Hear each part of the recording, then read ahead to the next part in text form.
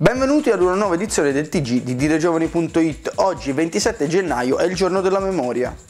Era il 27 gennaio del 1945 quando i primi soldati delle forze alleate fecero il loro ingresso nel campo di concentramento di Auschwitz-Birkenau, nella cittadina di Oswiecim, nel sud della Polonia, e per la prima volta il mondo conobbe gli orrori che si celavano oltre la scritta Arbeit macht frei che dominava il cancello d'ingresso. Si stima che nel campo morirono un milione e mezzo di persone, in maggioranza ebrei. Shoah è una parola ebraica che significa catastrofe e ha sostituito il termine olocausto, usato in precedenza per definire lo sterminio nazista, perché con il suo richiamo al sacrificio biblico dava implicitamente un senso a questo evento e alla morte, invece insensata e incomprensibile, di 6 milioni di persone. Università è online il calendario dei test per le facoltà a numero chiuso.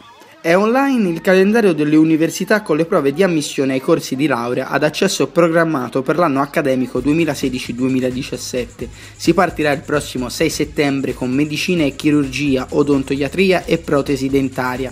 Il 7 si terranno i test per medicina veterinaria, l'8 quelli per architettura. Breve pausa e le prove tornano il 13 per l'ammissione alle professioni sanitarie. Ultimo giorno di prova il 14 settembre con i test in lingua inglese per medicina e chirurgia. Le date sono valide a livello nazionale, mentre il calendario è disponibile sul sito del Ministero dell'Istruzione, dell'Università e della Ricerca. In Francia dura protesta dei tassisti contro Uber. È dura la protesta dei tassisti francesi che da ieri manifestano contro Uber bloccando le strade di Parigi e di altre città. Nella capitale d'Oltralpe quella di ieri è stata una giornata di scontri che ha terminato con una trentina di arresti.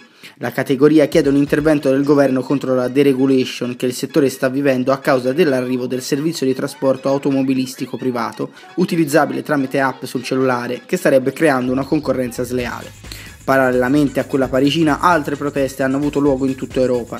In Italia i tassisti hanno manifestato pacificamente nelle principali città e una delegazione è stata ricevuta in Senato. Muore a 53 anni Black, l'autore di Wonderful Life. Nel 1987 il singolo Wonderful Life scalò le hit di tutto il mondo. Colin Vancombe, in arte Black, è morto all'età di 53 anni a causa delle gravi ferite di cui era rimasta vittima dopo un incidente stradale nei pressi dell'aeroporto di Cork.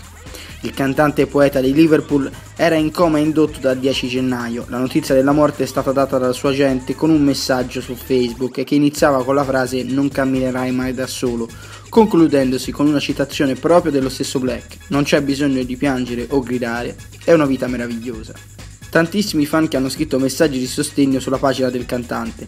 Nella sua carriera Black aveva realizzato 15 album, pubblicato poesie e allestito in Irlanda, dove ha vissuto per più di 10 anni, mostre con i suoi dipinti. I funerali in forma privata si terranno a Liverpool, dove Black era nato.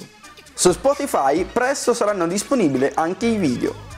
Un portavoce di Spotify ha annunciato che presto, oltre ad ascoltare la musica tramite l'app dell'azienda svedese, si potranno anche vedere contenuti video.